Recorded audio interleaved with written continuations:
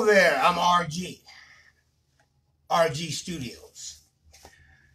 Welcome to the premiere of Hardliner, the web series, episode one. Right now, I have it loaded up on or loading on YouTube. Gonna publish it here shortly so the world can see it as such. Yeah, today this is, oh, excuse me, my foot hit the camera, and uh, I don't want it to move around, but you know how things are around here. it's closely confined, and I'm subject to do stuff. I ain't gonna cut it or edit it, so don't worry. Whatever you see is what you get. Okay. What I got here today, uh, like I said, is a live premiere of the uploading of Hardliner on YouTube. It's already loading up right now. I'll publish it here uh, shortly. I want to talk about the art and the convergence of two elements that are special to me in this web series. Now, when I made the original internet art film Hardliner, I was uh, taking the uh, concept elements of the 1980s uh, and 1970s and 60s cop shows, movies at that time that I had viewed as a as a teenager and child at that time. I, I really enjoyed those films. I'll take a couple of them here right from the top of my head. You're talking about Bullitt, um, Dirty Harry, um, French Connection. You know, these films, you know, got me uh, uh, inspired. You know, as a as a young uh, artists at that time, and I'm I'm captivated by uh, what the, what's going on here with this stuff. Now, I took those elements and I I blended them with other elements like that I liked in the uh, mid 80s, the horror films like Friday the 13th, Jason with that butcher knife or whatever that damn thing he was carrying, and uh, Freddy Krueger. You know, these, these, these were the, the criminals of uh, the hardliner uh, character Buck Velvet. Now, as we enter into the world of Buck Velvet, we're going to see the rogue gallery, the villains, the things that made this character what it was in Hardliner. Uh, and the word, I'm drinking an exotic drink here, uh, non alcoholic, just for those of you who will see this on here. I like to, this is what I like to drink you know.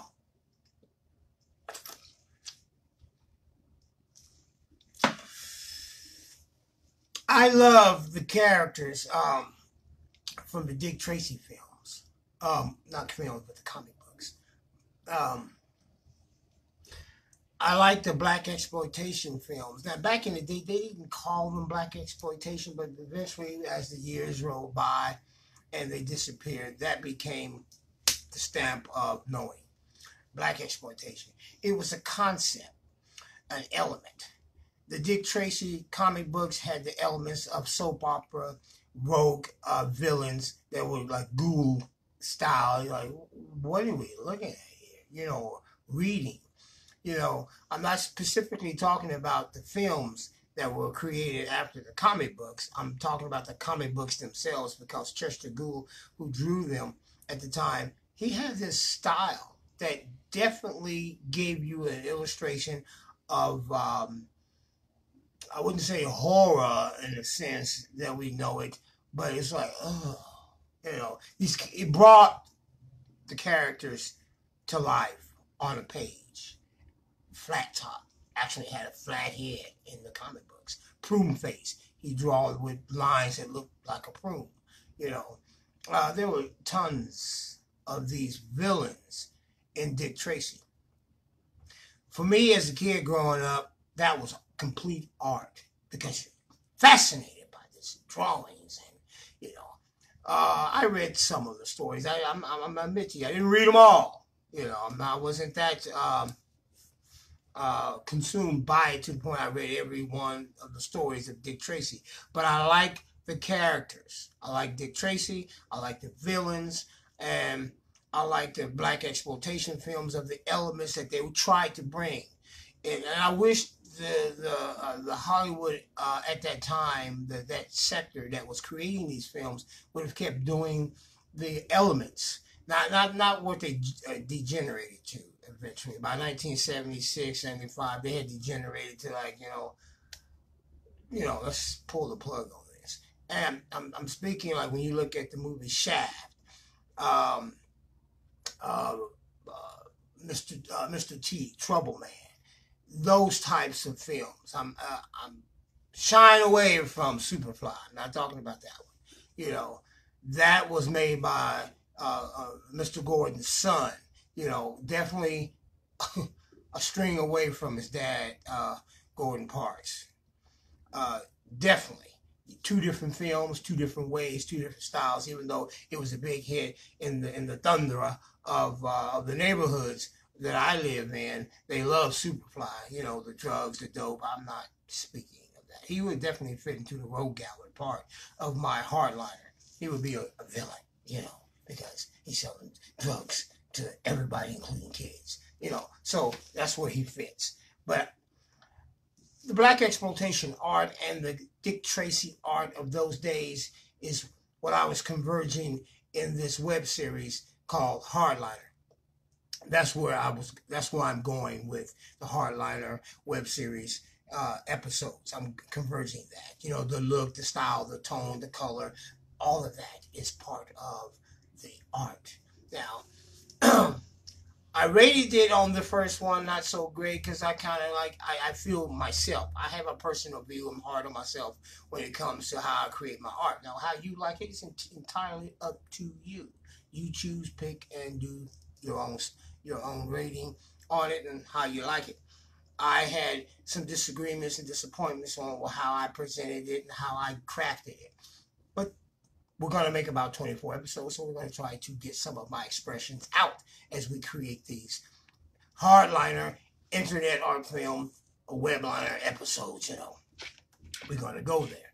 I have it uh, right now on there. I'm going to publish it here so it can be put on there right now.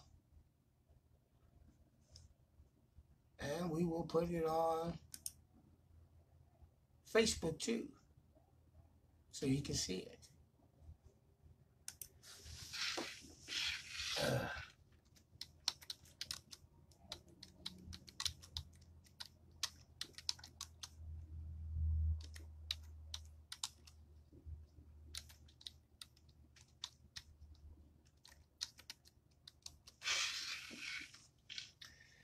So uh, yeah, um,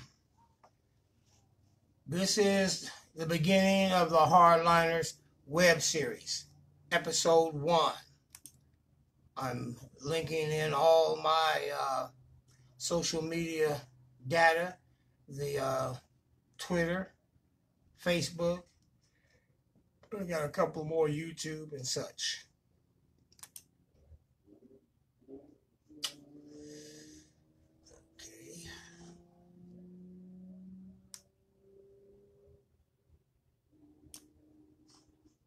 And Blogger. I have a Blogger. This is where I put all my ratings uh, stuff here too.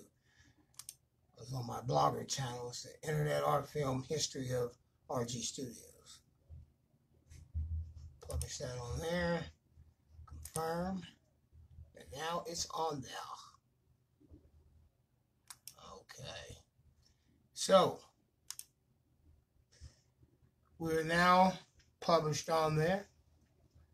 Episode one is on YouTube. You can go there and check it out right now.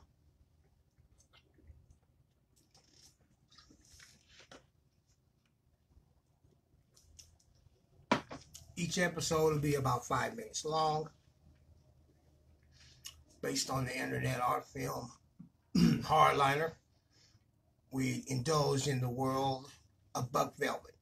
I hope to make these interesting to um, to look at, not only with uh, the convergence of the art con- elements that I have and concepts that I have um, just expressed, but also in these, I like to put together techniques that uh, I can experiment with, like foreground miniatures, um, different techniques and, and associated with uh, effects and, and such.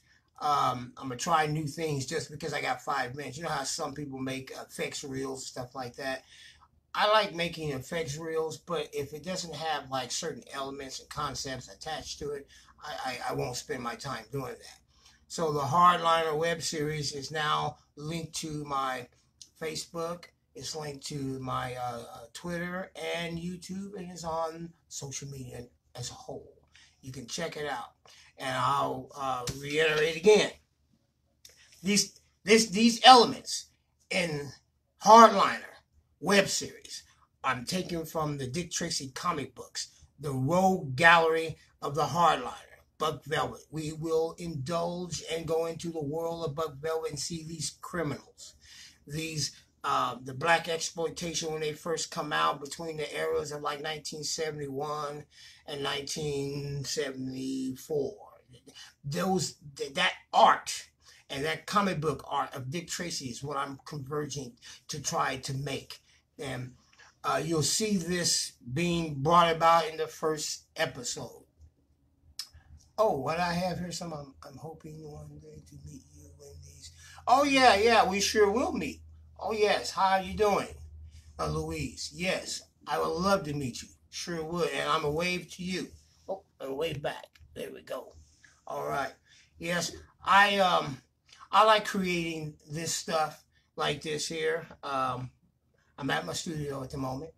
Like, and I was speaking about the uh, Hardliner web series. It's uploaded on my YouTube channel. You can check this out. Five minute episodes is what I'm uh, experimenting with. Um, and in the process of that, I want to indulge into the world of Buck Velvet and his rogue gallery of criminals. I'm inspired by the comic book art of Dick Tracy. I, I just I just love the way Chester uh, Gould made these criminals illustrate come to life in the soap opera story that he lays out. You never know where that comic book was going to go every month, or however they uh, publish them. I believe it was every month, most of them. I got several of them around the house now. Uh, I'm going to probably put them on the wall. You know, have them have them slabbed and put on the wall because I, I love the art, the way they were drawn, colored, and all of that. Uh, today we have the legacy of Dick Tracy in the trench coat and the yellow uh, a, fedora. But originally, when you see Dick Tracy in the early days, he didn't have the yellow fedora or trench coat. It was probably a black suit coat, and he had a brown or a blue hat, you know, fedora hat. Later on, during the 50s, he became uh, stationary, you know, where it was every comic book he had the yellow trench coat he had the yellow hat. Now, why they did that, I have no idea. Uh, probably to the, to single him out amongst all the other characters, so you knew he was coming. You see Dick Tracy, a yellow coat. Oh, yeah, Dick Tracy. Yeah. And the black exploitation films were great, like uh, Shaft. I'm a single out uh, Superfly. I'm not talking about that one. That was from the Son of Parks. You know, I'm not talking about that one. But uh, Trouble Man they were crazy. Give, don't get me wrong, and they had this uh, um, um, way of um, probably degenerizing uh, uh, certain peoples under certain standards or ways, but but their their color tone and the way that they created their their storyline, it was like they cut out a lot of stuff to get to the point. I kind of like that. That, that. that was attractive as an artist, you know. So that's where we go with the Hardliner uh, uh, web series is that five minutes you're going to get drawn into a soap opera. And each story will continue on as it fo- focus out. I'm planning planning to do 20 some odd episodes. And within that context, I wanted to experiment with the art of the uh, of, of, of, of the, the Dick Tracy and the black exploitation, and to have elements of different types of effects that I pro- probably wouldn't do on a normal run. I'm just want to ex- technically experiment with things. They may work, they may not work. You know, that's the whole concept of experiment is that you may come out with something that you didn't like. And the rating of my first episode, I'm I'm I personally a little disappointed in my efforts, but that's okay. But that don't mean people won't like it. It's just that the artist himself said, well, you know, I didn't do that one there. I'm trying to do something a little different. I was going for this or aiming for that. That's just the way it is. I'm not trying to standardize anything too quickly and rubber stamp it on out there. I'm not trying to do that and, and commercialize it. I'm just experimenting and enjoying the, the creativity of artwork. Now, overall, I love making the episode. I'm already got the second uh, story lined out. I'm gonna get writing on it probably in another week, uh, three or four weeks from now. I have other. I'm going to start back working on my uh, Garden of Heathens, Shape of Events to Come. I scripted last night. I want to get it script and done by the, first next year, so me and Eric Young can begin working on it in the spring with no problem. You know. But uh, yeah, that's what we're here today is to announce the Hardliner web series upload is on YouTube right now. It's on all my social social media stuff, Blogger, Twitter, Facebook, and of course the RG Studios YouTube channel right at this moment. Appreciate you coming in, checking this out for the moment, and we have loaded it up if you like some of it, dislike it, or whatever, or how it uh, affects you in whatever way you feel like commenting, please do. And we'll see you again next time. Thank you.